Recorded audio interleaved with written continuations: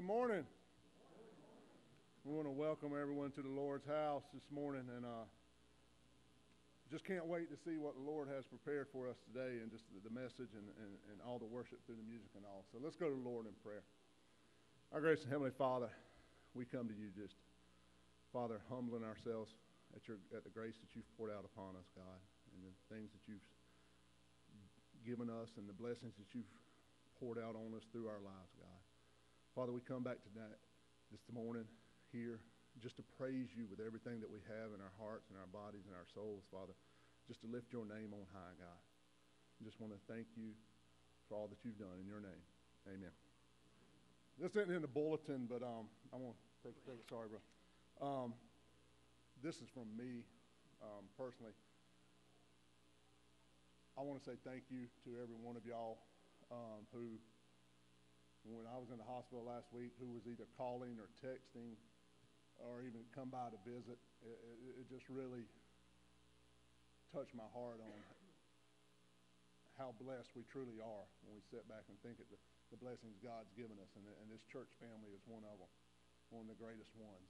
Um, but I just want to say thank you from me and my family for all the prayers they were much needed in, in times of uncertainty and not knowing what was going on.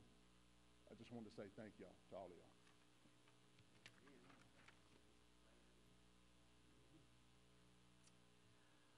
Well, everyone knows what today is, I assume.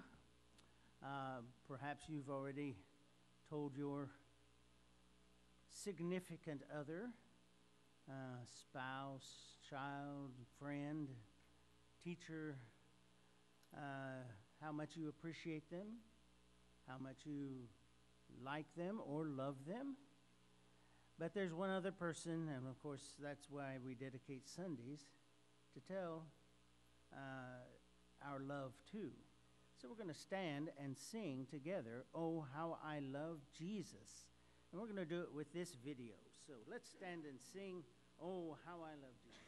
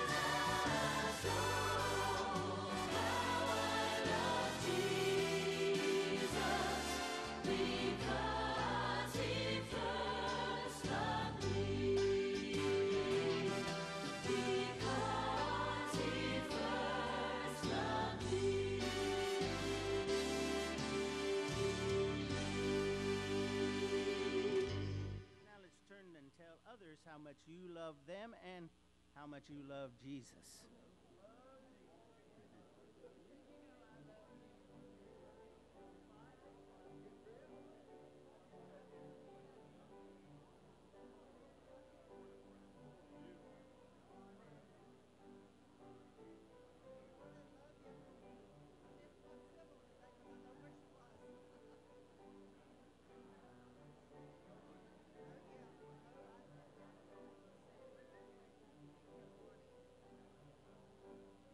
Check, check.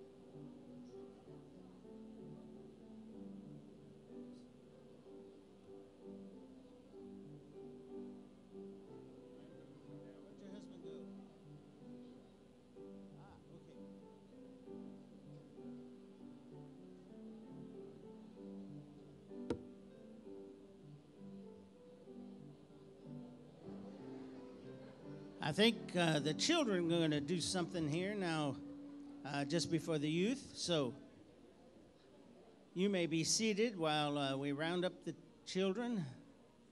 There goes the children's leader. He said, just a minute.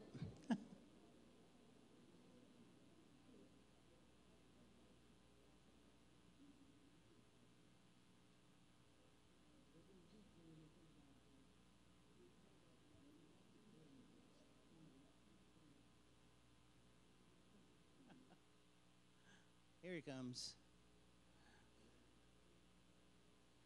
Come on, kiddos. Do you want this?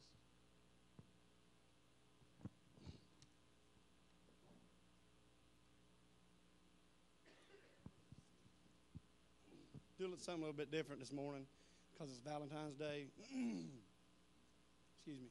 Um, today's about love, right?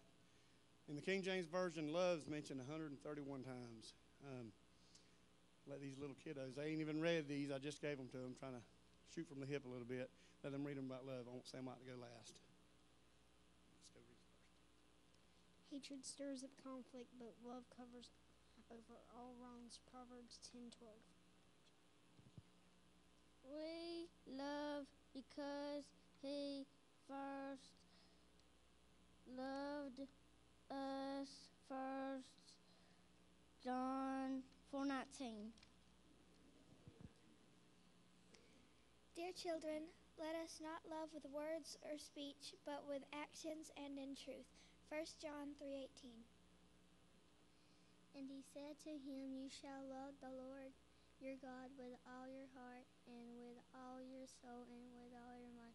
This is the great and first commandment. Matthew 22, 37 to 38. Love is patient, love is kind. 1 Corinthians 4, 13 4. And above all these, put on love, which binds everything together as perfect harmony.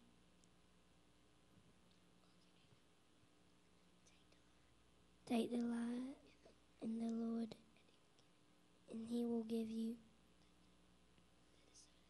the desires hearts, of your hearts.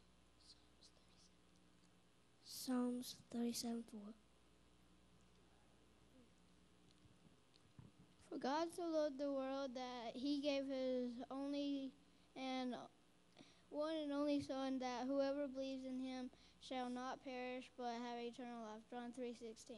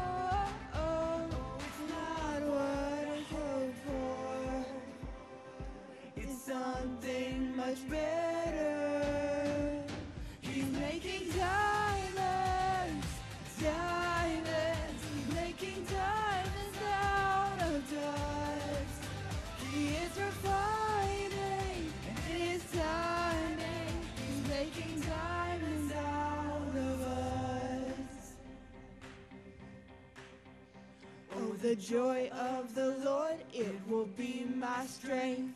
When the pressure is on, he's making diamonds. Oh, the joy of the Lord, it will be my strength. When the pressure is on, he's making diamonds. Oh, the joy of the Lord, it will be my strength. When the pressure is on, he's making, he's making, he's making diamonds, diamonds. Making his rain upon the dust. He is refining, and it's timing. He's making diamonds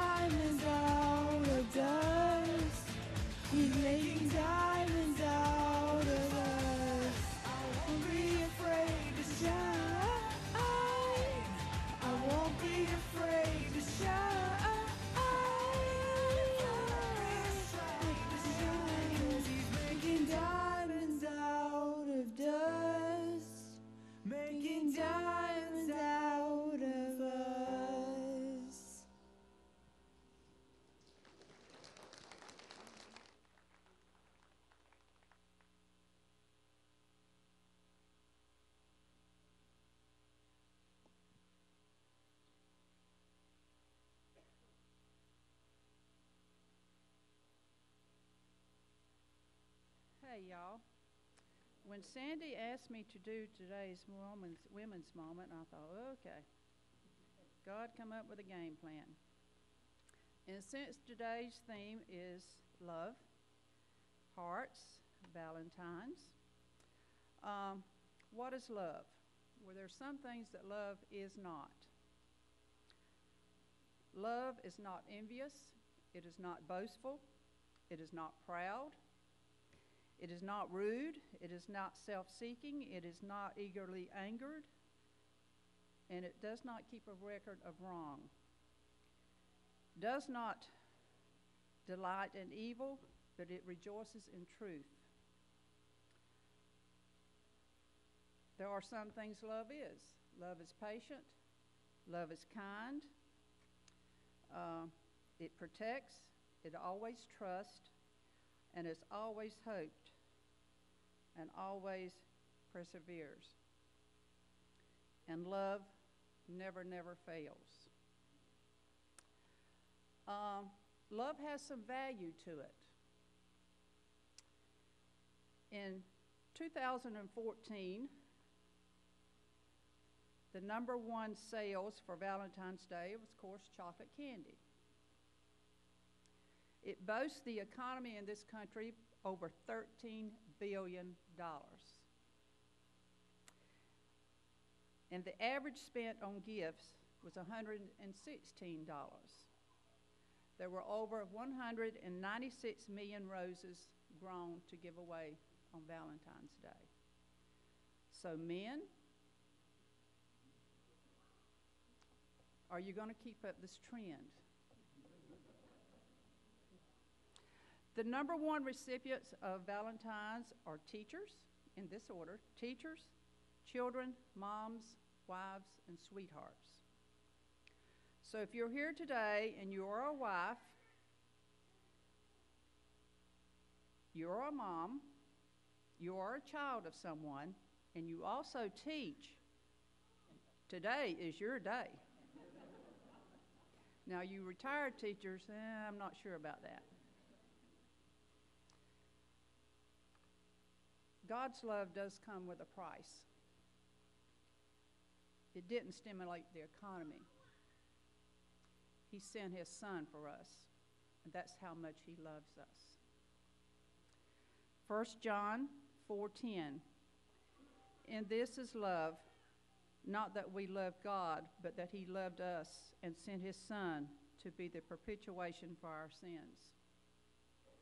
There is something in the character of God and the culture of heaven that resulted in Jesus Christ coming to the earth to die for us.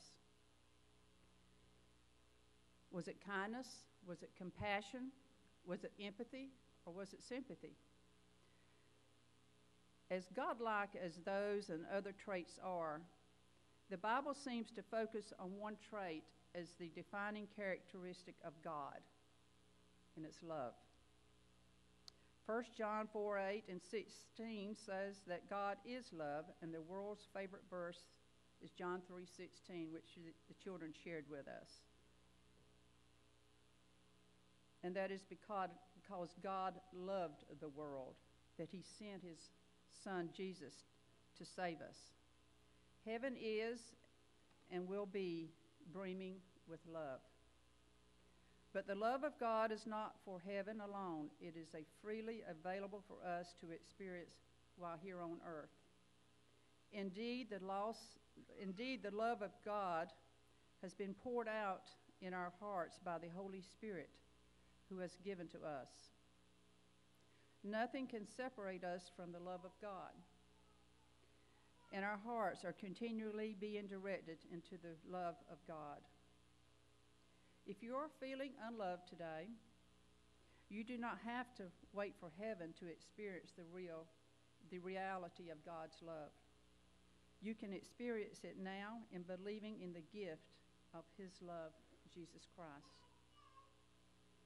God gave the ultimate sacrifice of his son for you and I.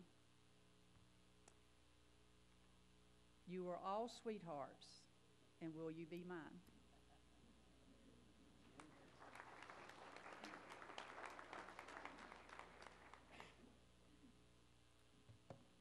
Well, we do know it's a holiday weekend.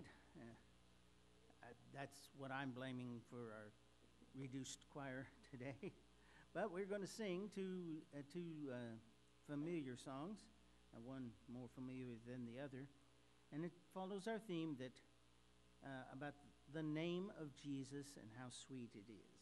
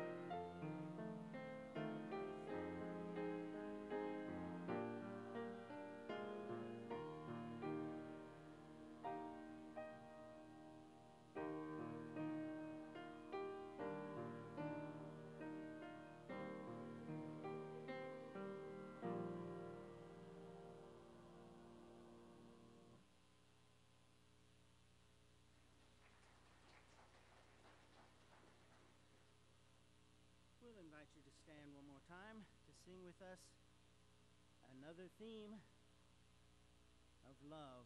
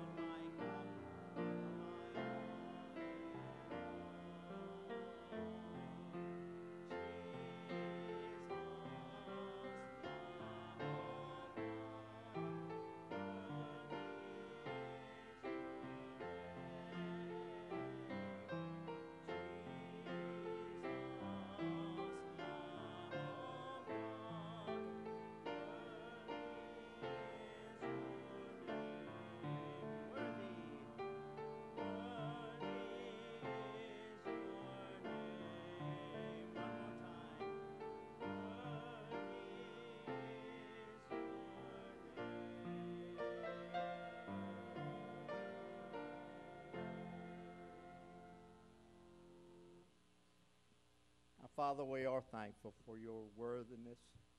The name of Jesus, every knee shall bow and every tongue confess that Jesus is Lord. Lord, we thank you for this season of the year. Lord, we thank you for giving us the opportunity to give back of the things that you give us. In Jesus' name we pray. Amen.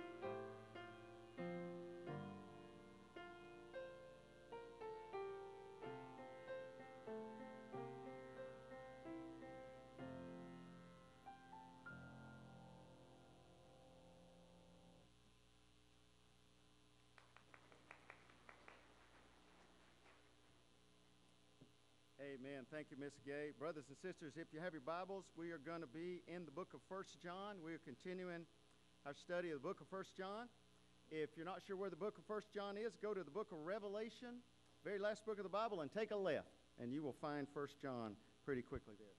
First John chapter 2, beginning with verse 3. Now listen, I, I love you with a pastor's heart, and I know um, it was many years, and some of you may be having this this morning. It was many, many years when I did not get a Valentine's card or anybody to call me on the phone and say they love me or anything on Valentine's Day. It was just another day. So, because I love you as your pastor, I'm going to read you a Valentine's Day poem for everybody. This is dedicated to everybody men, women, boys, girls. If you didn't get something from somebody this morning, please take this from your pastor's heart love, okay? I call this the Gardens Valentine's Day Love Poem. By the way, before you boo, I did not write this, so at the end when you boo. All right, this is the Gardens Valentine's Day Love Poem. I would like to dedicate this to everybody here this morning. Here it goes. Somebody wrote this. I found it on the internet. You know it's going to be good, right? Cabbage always has a heart. Green beans string along. You're such a tomato. Will you peas to me belong? You've been the apple of my eye. You know how much I care. So let us get together. We'd make a perfect pair. Now, something sure to turn up to prove you can't be beat. So if you care at all for me, just let our two lips meet. Don't squash my hopes and dreams now, honey. Be my honey dear. Or tears will fill potatoes' eyes while sweet corn lends an ear. I'll call a flower shop. Did you get that one? Call a flower. I'll call a flower shop and say, Your dreams are partially mine. I'll work and share my celery with you, so be my Valentine. All right. Somebody, obviously, I cannot take credit for that. I stole it off the internet, so y'all know the truth. Brothers and sisters, this is such a special day. Uh, to get to show people in our lives how much we love them, how much we care for each other. I cannot start this message without recognizing. Did everybody see the window decorations this morning? I know Miss Gladys and Miss Pat, was she involved in this too? They both decorated. Look how beautiful this is. Can we give them a hand say thank you? That's so sweet. Okay, here's the question this morning from 1 John chapter 2. How do you know that somebody loves you? Let me ask a question. Just yell it out. How do you know somebody in your life loves you? What have they done to show you that they loved you? Anybody? Yell it out. It's okay. You can talk in church. It's all right. Put up with you. Oh, that's a big one, right? They don't smother you with a pillow in your sleep. They love you. What else? Somebody had one. What do you how do you know somebody loves you? They hug you. Isn't it under some of these hugs you get around the church really nice, you know? What else?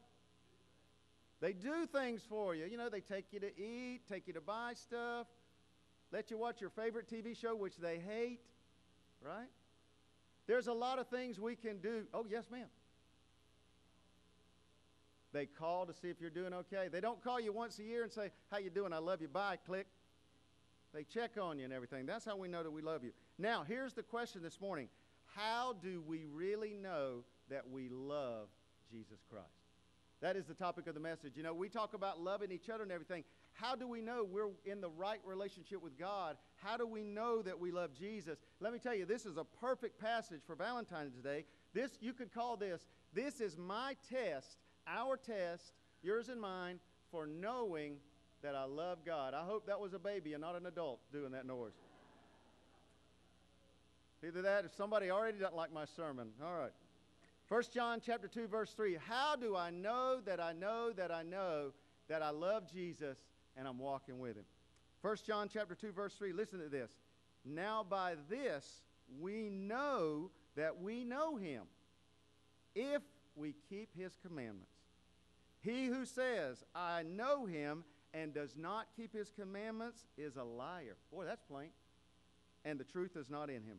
But whoever keeps his word, truly the love of God is perfected in him. By this we know that we are in him. In other words, I know I'm with Jesus if I keep his commandments. He who says he abides in him ought himself also to walk just as he walked. Brethren, I write no new commandment to you, but an old commandment which you have heard from the beginning. In other words, let me stop here and explain this. John is saying, hey, this stuff about loving God has been going on since Abraham. We all know that we're supposed to love God. He says, The old commandment is the word which you've heard from the beginning, even the beginning of, of creation. You've heard that. Now he, he says, again, a new commandment I write to you. He's referring to what Jesus said, which thing, which thing is true in him and in you, because the darkness is passing away and the true light is already shining. Let me, let me make sure everybody understands what the Apostle John is saying there. He's saying, everybody knows from the beginning, God says, Love me first. He says, but Jesus came along and told us how we're supposed to love Him, showed us how we're supposed to love Him, and also showed us how to love each other. So we have an old commandment plus a new commandment that Jesus gave. All right, verse 9, we're going to continue a couple more verses. He who says he is in the light and hates his brother is in darkness until now. He who loves his brother or sister abides in the light, and there is no cause for stumbling in him. But he who hates his brother is in darkness. Now, he's not talking about your brother in your family, he's talking about your Christian brothers and sisters. Is in darkness and walks in darkness and does not know where he is going because the darkness has blinded his eyes. Incredible passage from the Apostle John, and we're going to talk about that this morning. Let's pray together before we begin. Father, we love you. Lord, we thank you so much, Father, for the opportunity that we have to love you. Father, thank you. You have shown us love through the Lord Jesus Christ dying on the cross, resurrecting from the dead for sins that he did not commit. He died for our sins, Father, and we thank you, Lord, for his sacrifice. You've taught us how to love God because you first loved us. Father, you've also taught us how to love our fellow neighbors, people in our family, our Christian brothers and sisters, the people in our communities. You taught us how Christians are supposed to love. Lord, this morning as we study your word, we pray, Lord, that you have your will and your way. In Jesus' name, amen. Okay, I'm going to give you three things this morning, three ways to test your love. Do, how do I love God and how do I love other people? I'm going to give you three ways. Number one, Brother Frank's going to put this on our screen. True Christians, look at this, prove our faith by the way we talk and act. Have you ever seen a Christian, raise your hand if you've ever seen this, a Christian say one thing and do another? Oh, come on, y'all. Now, we all live in the real world. You know, they say, uh, people always tell me, I'm not coming down there to that church because it's full of hypocrites. I say, come on, we got room for one more. It's okay. Brothers and sisters, do you realize that our talk and our actions must match together to please God? In other words, it's not enough for me to say I love Jesus, I must show.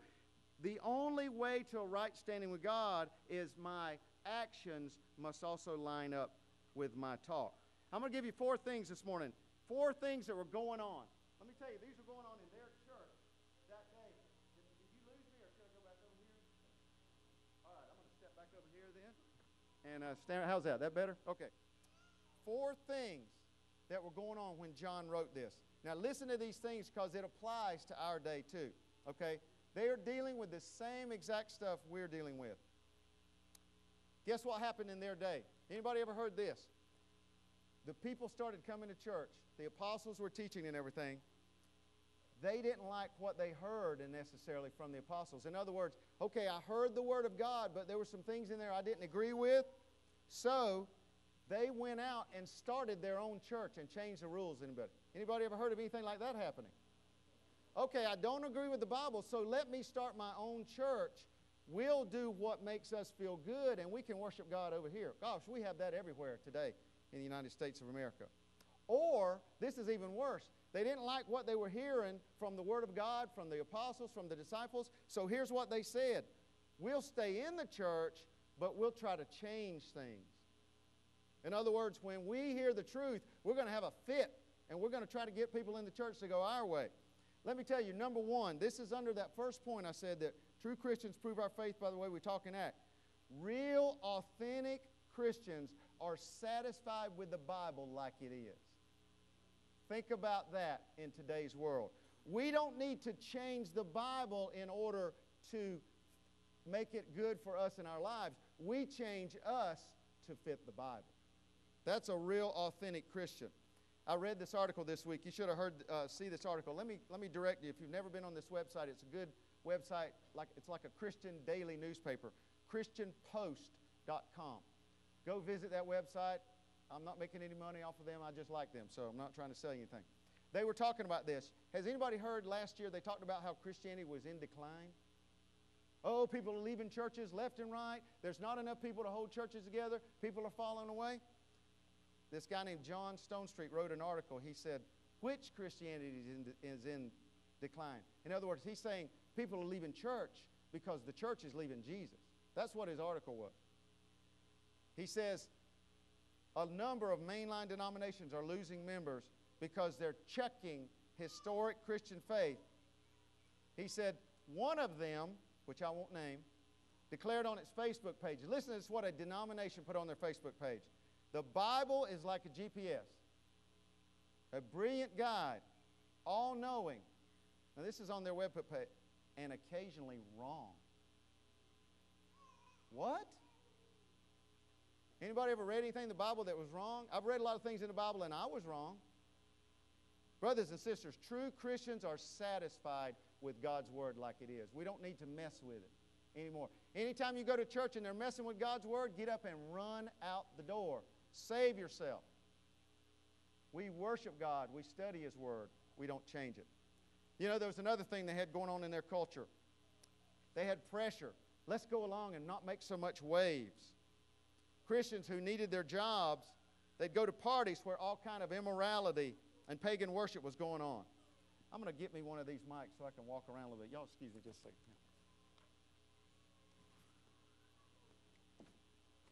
Get up close here. How's that? The white mic, Brother Chip. Y'all forgive me. Is that better? Now I can walk around. Forgive me. That way I can get move around here a little bit. I'm, I feel like I'm stifled behind this pulpit. Uh, they had Christians in their day who felt like they had to do this in order to keep their job. In order to please society, I have to be a part of the labor union that they were in. I got to go to these parties, and at these parties, they're committing sexual immorality. In order to keep my job, I got to go along with that. They really had that in the first century churches. They began to believe in the church, I can do what I want with my body as long as my heart is with Jesus. Y'all ever heard that today?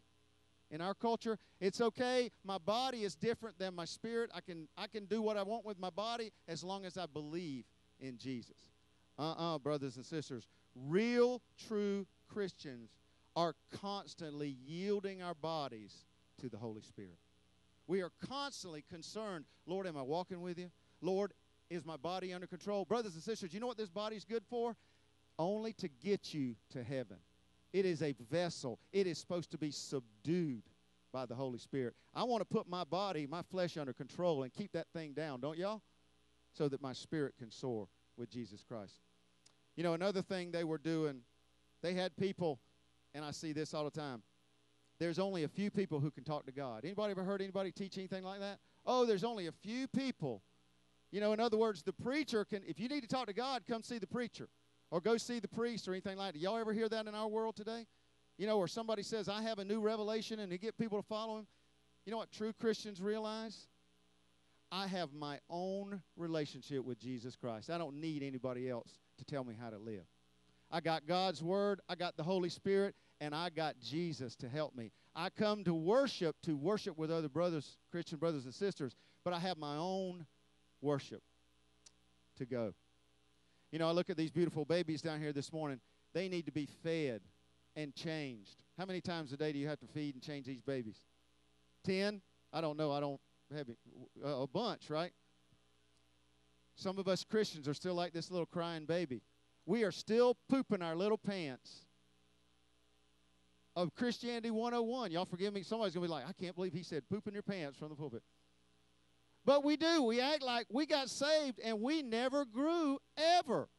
We never read the Bible. We never go to church. We never pray. And we wonder, why is my life so miserable? I'm a Christian. Because you haven't done anything to seek God. True Christians realize talk is cheap. Walking with God is where it's at. I love this story. This is kind of like that I was in my Christian life for many years. I love this story. General Stonewall Jackson was a, a general during the Civil War. He found himself on one side of a river. The troops were on one side of the river. They got to get to the other side. So General Stonewall Jackson, he told his engineers, go design me a bridge so I can get across the river. Then he told some of the other, the wagon master, he said to the wagon master, we got to cross this river. So you know what the wagon master did? The wagon master went and found some boards, and all the wagon people built the bridge, and they crossed over the river to the other side. And General General Stonewall Jackson, he said to the next morning, they all got to the other side. He says, Where's the engineers? They said, Well, they're back in their tent across the river, still planning the bridge. Brothers and sisters, are you walking with Jesus or still praying about it? Are you living for God fully or still saying, Well, God, you know, I'm going to get around to serving you one day. One of these days, Lord, I'm going to join the church. I'm going to come forward to get baptized. One of these days, when I when I get around to it, you remember those little things? When I get around to it, Lord, I, I'll teach a Sunday school class. God says, that day is today. Real Christians realize that talk is cheap. Number two, I love this one. True Christians enjoy a much deeper and a much more rewarding life than the average person does. Do you realize the benefits of being a Christian, of a follower of Jesus? Man, there's so many things, blessings that we get that the average person out there struggles with stuff that we don't have to. Verse 5 in our scripture said, Whoever keeps the word of God, truly the love of God is perfected in him. By this we know we are in him. Do y'all remember in the Bible where Jesus took the five, was it two fishes and five loaves or five loaves and two fishes? I can never remember. I always get that backwards. Which one? You know, I should know this. I went to seminary. Five loaves and two fishes. Okay, I thought it was, but I always get it messed up. I've got scripture dyslexia this morning. Y'all forgive me.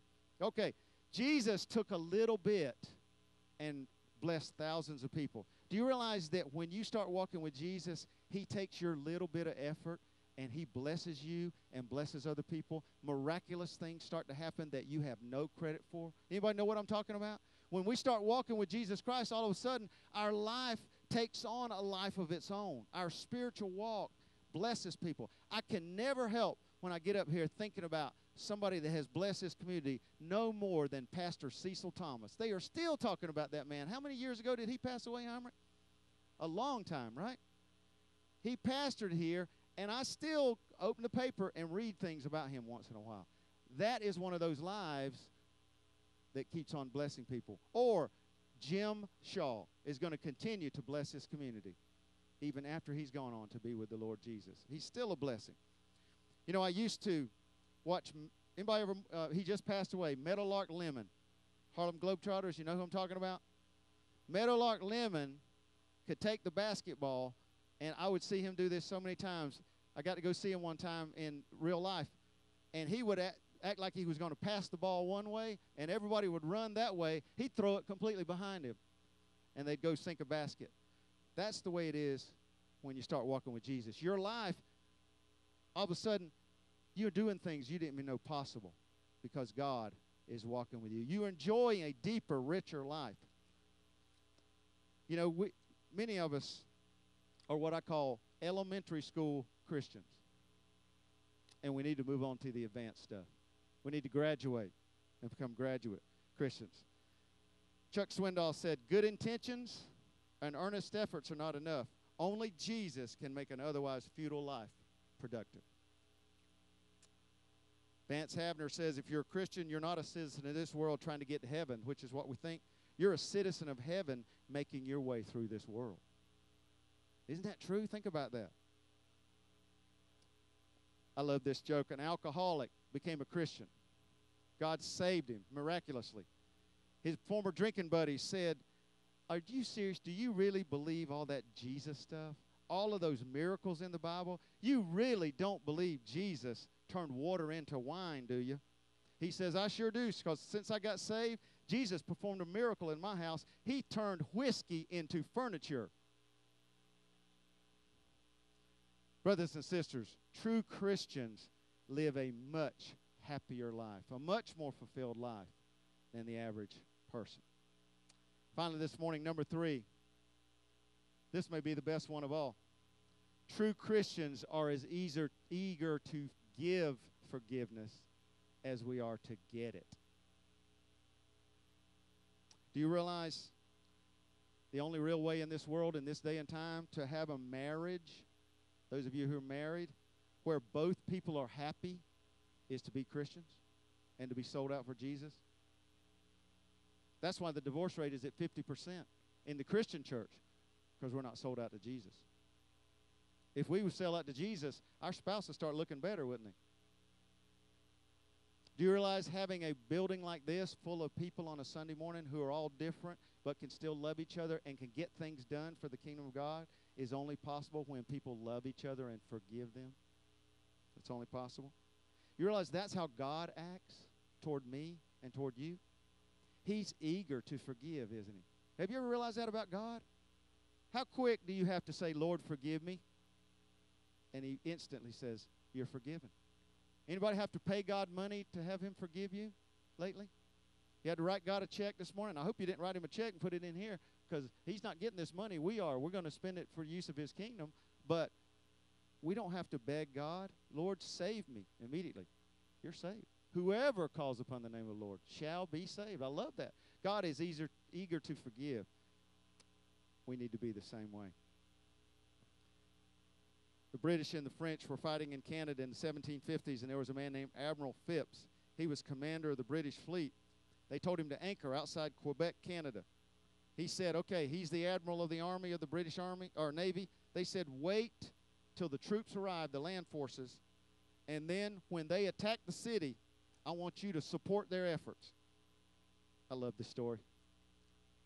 The admiral waited and he waited and he waited, sitting on the ships out there in the Quebec harbor, and he started looking and he saw this church up on the shore. And he saw these big statues of saints that they had in front of the church, and it finally got to bugging him, and he got so annoyed, he ordered the men on the ships to shoot those statues with the cannons. You know, so they're sitting there in the harbor waiting for the war to start, and he's shooting at the statues on a church sitting there. Nobody knows how many rounds were fired, but when finally the troops arrived, the land forces, they were going to have the real battle. The admiral and the ships gave them no help. He had used up all his ammunition shooting at the saints. Think about that. Are you using up all your ammunition shooting at your spouse instead of loving them? Are you using up all your ammunition being aggravated with the church instead of forgiving these people down here who are sinners like you and get in and join us and let's work for God? We're trying to find the perfect church. I'm still trying to find the perfect church of pastor. Y'all are still trying to find the perfect pastor, right? You got a long way to go, by the way, for me. If Satan can get us not to forgive each other, he's got us. I looked up this on the internet too. There's amazing what you can find on the internet, isn't it? Uh, this is from Centerville, Georgia. Anybody know where that is? It's up near Warner Robins somewhere. Centerville. The title of this article. This was from tominthebox.net. So you know I'm not, not just making this stuff up. And by the way, I'll tell you at the end of the story. I tried to see if this was true, and some of it has to be. 47 church splits finally brings doctrinal perfection. That's the title of the article. Okay, listen to this. Centerville, Georgia. The small community of Centerville, Georgia has a population of over 5,000 people. But a total but with a total in the last 100 years of 48 Presbyterian churches, they hold the record for the most, most number of Presbyterian churches in a small town. The high number of churches has to do with the multiple splits that have taken place over the years because of one issue or another. Originally in 1899, there was only one Presbyterian church in Centerville, known as the Centerville Presbyterian Church. It had 20 families. The church was at that time the largest in the area. By 1911, this church had grown to 150 members, a considerably large church at that time. But a dispute had arisen in the congregation over whether the offering should be taken before the sermon or after the sermon. The first split took place, with the dissenting congregation forming Centerville Reformed Presbyterian Church. By 1915, a dispute arose among the members of Centerville Reformed Presbyterian Church over the issue of the regulative principle of worship. Some members liked the idea of having flowers in the sanctuary, some didn't. As a result, they split, and Trinity Reformed Presbyterian Church of Centerville was organized with 25 members. Several more splits took place over the various issues between 1915 and 1929, and 1931 and 1975. Since 1975, several more splits have happened, with the most recent occurring this past weekend when a dispute arose among the members of the, listen to this title, the Second Street First Ninth Westminster Covenantal Reformed Presbyterian Church whew, over the inter- issue of the observance of the Lord's Day.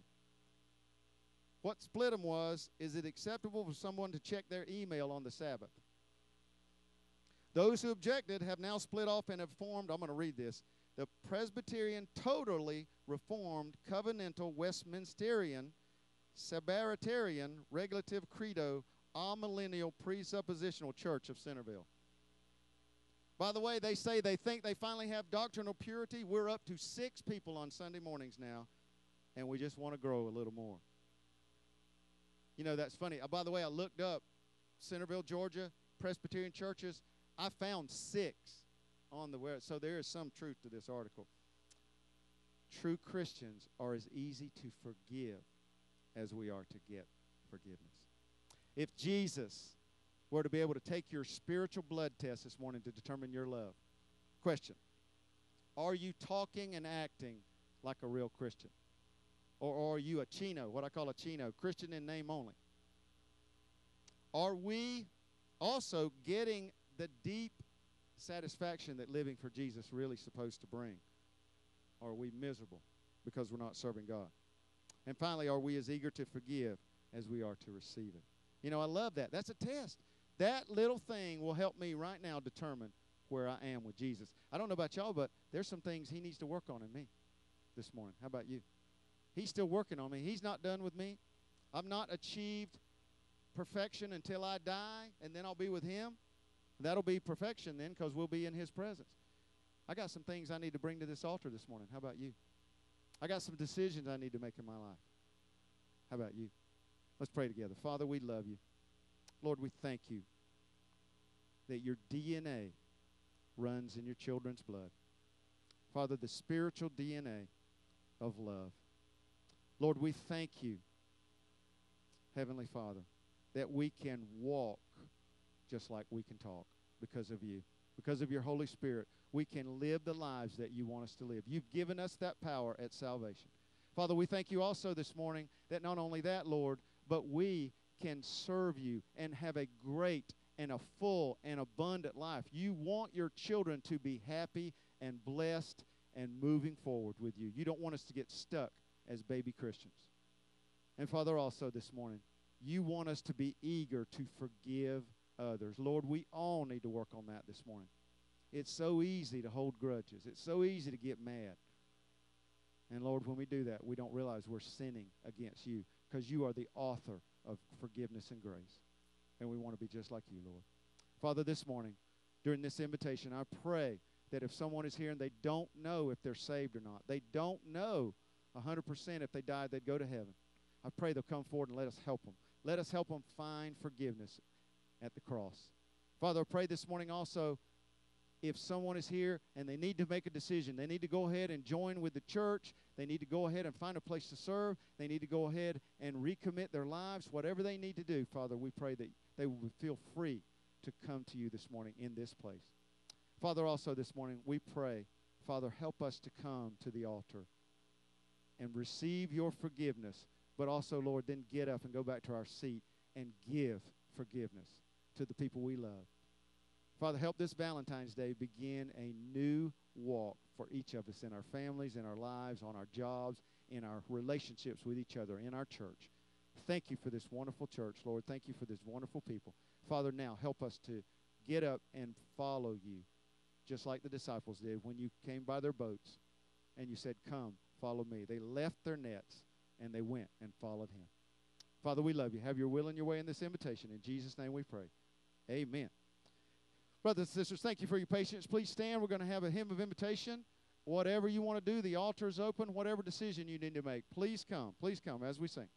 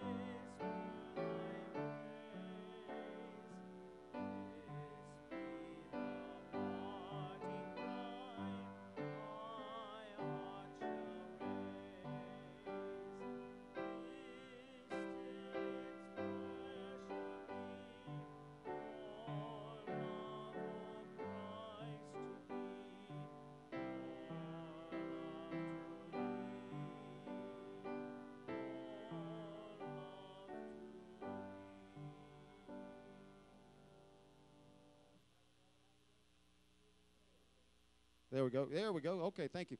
Uh, bless you, everybody. Thank you for coming today. One quick announcement. I know we've got a couple more. Uh, in 10 days or so, we are having a Thursday, the 25th of February. We're going to open up the church and we're going to give away groceries to some of the needy folks in our community. If you know anybody who needs some, please tell them to come down here. Also, I want to ask you I was just meeting with our association in Brunswick who's going to come and help us. And we need more canned goods. So if you have canned goods at home, if you bring a few canned goods, and we, we're going to try to collect them in the next 10 days, and then we'll give them out. And that'll be such a blessing to folks. So if you got some canned goods, I've got some broccoli cheese soup that I just cannot stand to look at in the cupboard anymore. I'm going to, somebody will want that, right? Yeah. And please bring stuff. And we want to show love to our community. Anybody that wants to also volunteer that day, it's a Thursday from 10 to noon. We would love to have you, and we're going to love these folks, tell them about Jesus, give them some groceries, help them get through the next few weeks, and then send them home.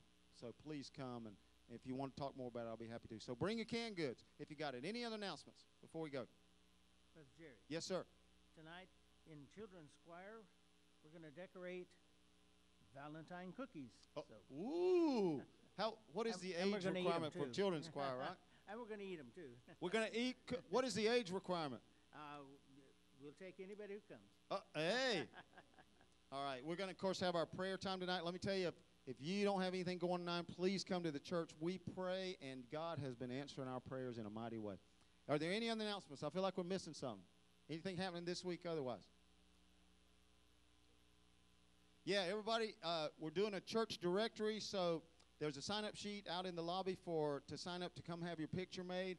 Listen, your picture will look better than mine, I promise you. okay, so please come, and it's a Saturday. You can have time to do it. Okay, anything else? Yeah.